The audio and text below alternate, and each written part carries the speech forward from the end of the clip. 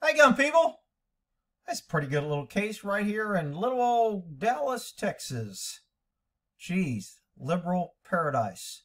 Run by liberals for liberals, always out of money, but has 600000 to remove a, a Confederate statute because that's important to liberals, not the out of control murder and crime rate. This police officer has been arrested for two counts of capital murder. Capital murder means he planned it. He was the guy. There's three people in prison who supposedly said he's the one that wanted this person dead. They don't know the motive yet. Interesting little case. So I figured I'd, I'd go over a little bit, just kind of on, you know, they're not releasing a lot, so I can't really make any determination. But according to this, the lawyer said his client's innocent. Shocking. Who could have predicted that shit? Ray Charles saw that coming. Uh, murder for hire scheme of his client. His client is the cop in the 2017 killings. Does not know one of the victims. So that means he must be innocent.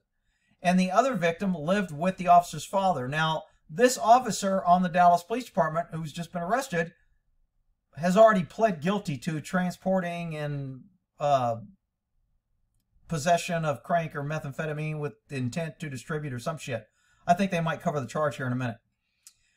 Uh, so with the investigator last week, they arrest uh, and they charge him with two cases of capital murder. Now they knew this cop was a suspect back in 2017, and for two years, they let this cop walk the streets with a gun, even though he was a suspect in two murders. He worked as a cop because diversity is our strength. We can't correct anybody for anything without being called a name. So we must be diverse. Two years. He's a suspect in a double homicide. And he's walking around with a badge and gun serving the great people that elect this shit in, in te Dallas, Texas. Freaking crazy.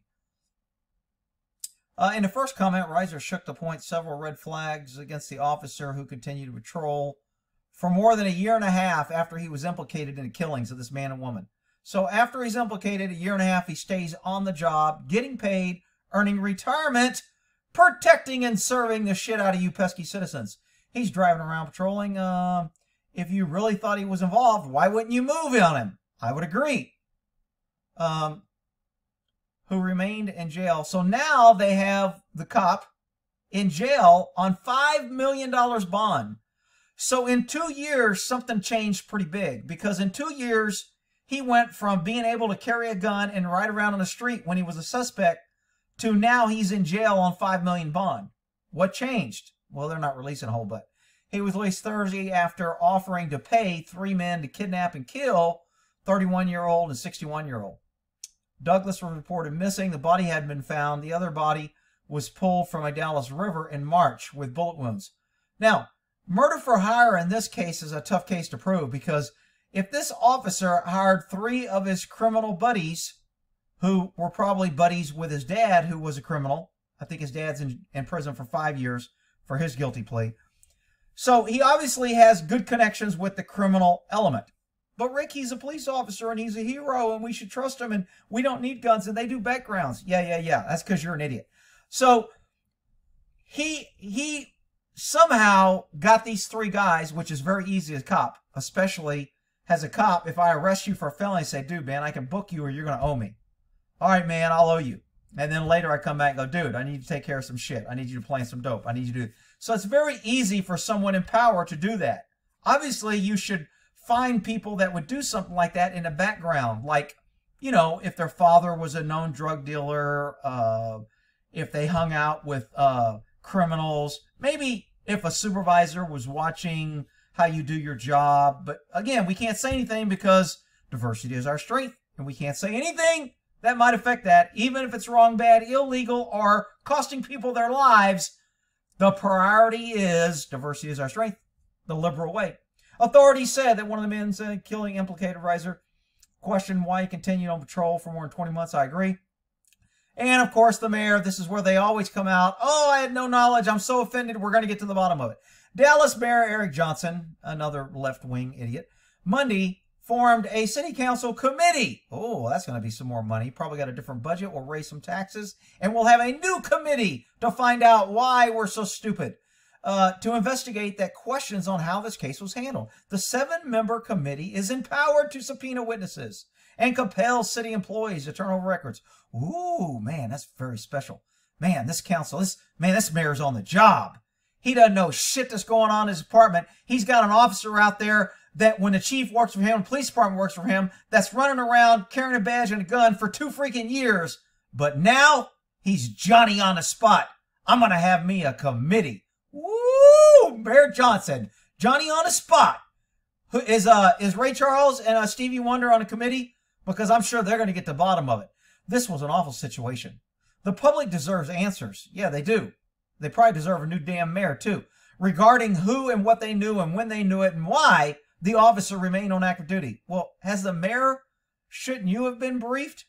I, I did, maybe you should have found this out. Maybe the people elected you to keep an eye on our crooked ass police department that you fill with ignorance in order to be politically correct and you over budget and you don't have enough money and you spend on stupid programs and then you have 600,000 to remove a Confederate statue because that's important. But this, by gosh, we're going to have a committee on this.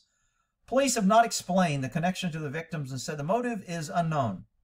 Well, I mean, motive is important, but they're going to figure out motive.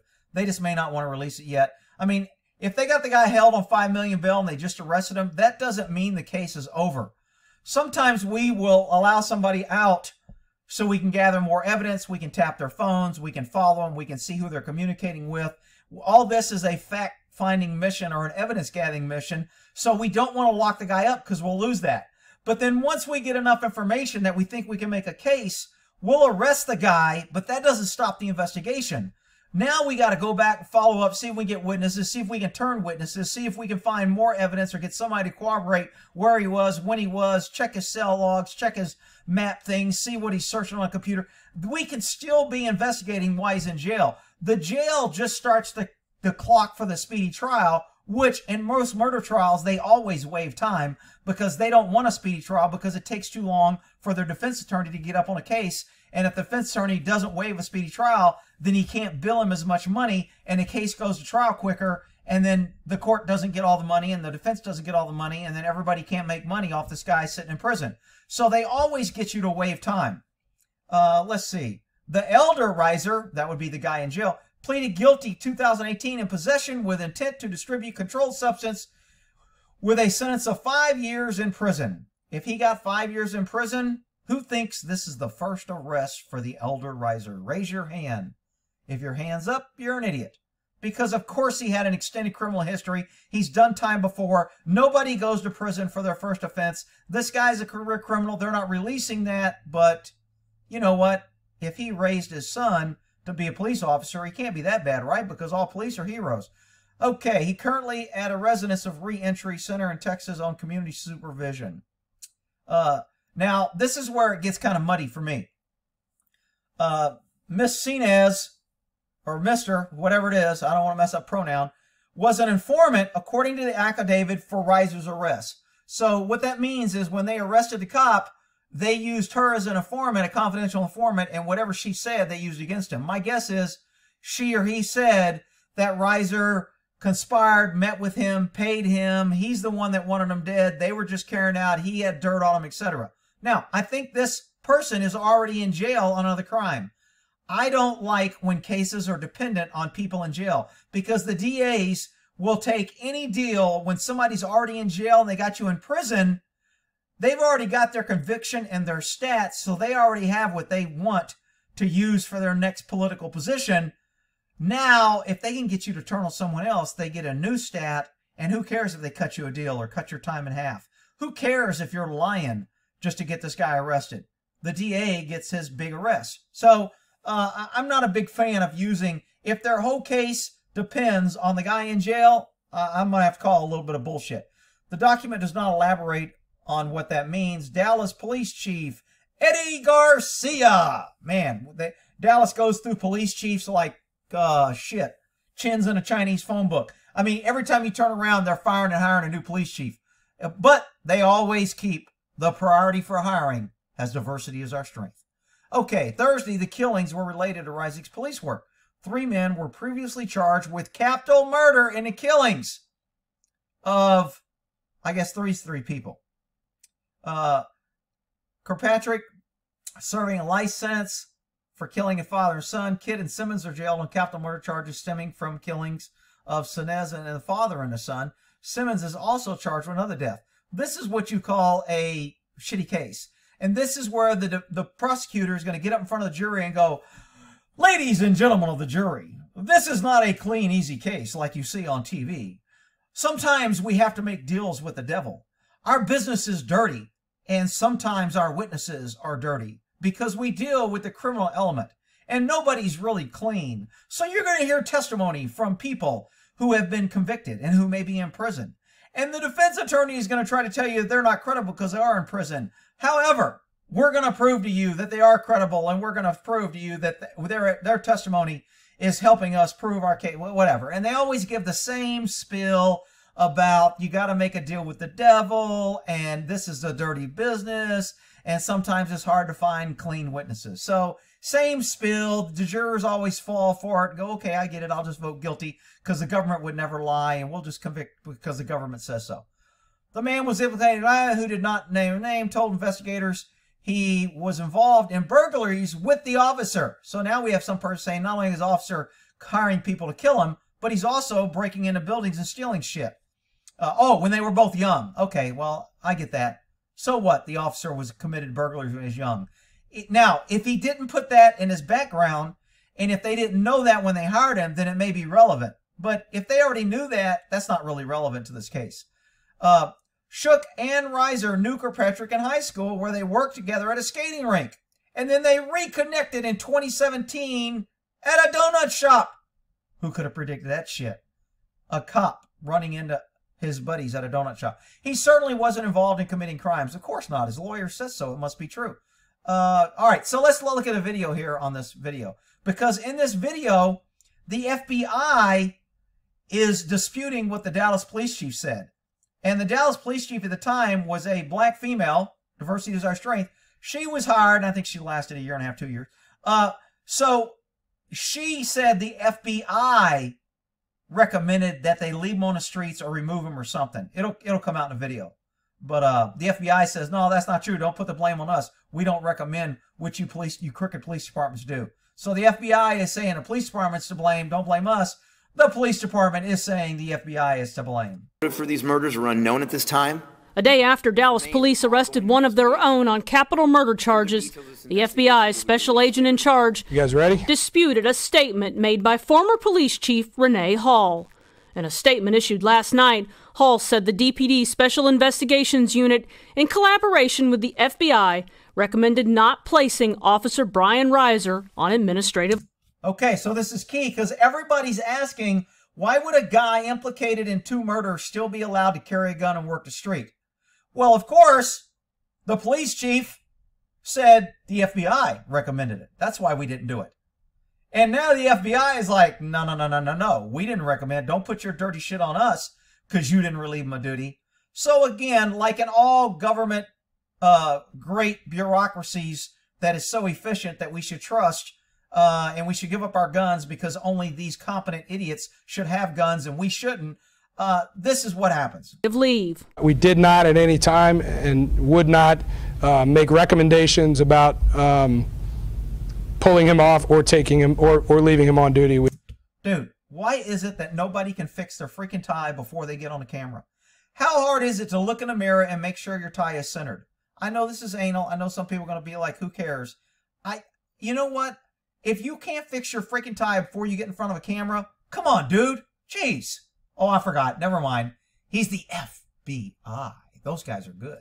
We at no time asked them to leave him on duty.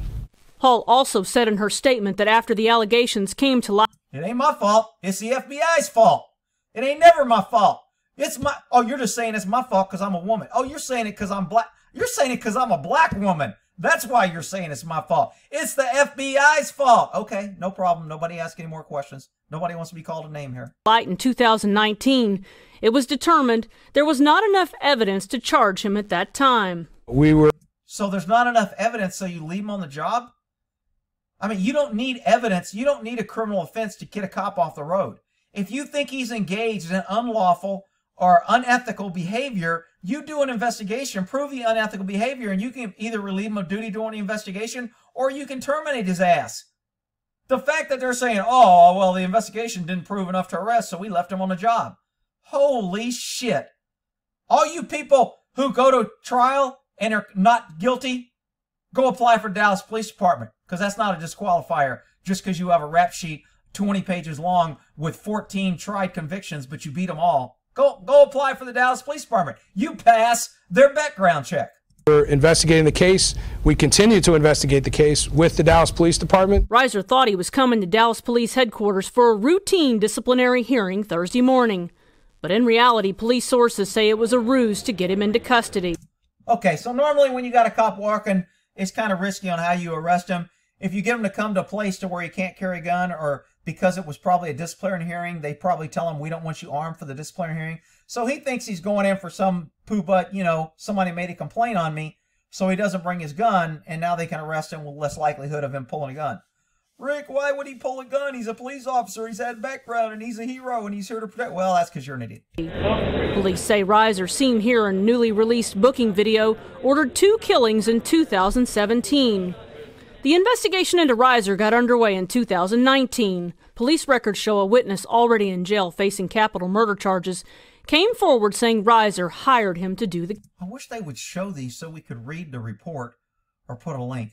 killings. The witness said Reiser described Lisa Saenz, one of the victims, as an informant. You've got a mastermind criminal who's organized.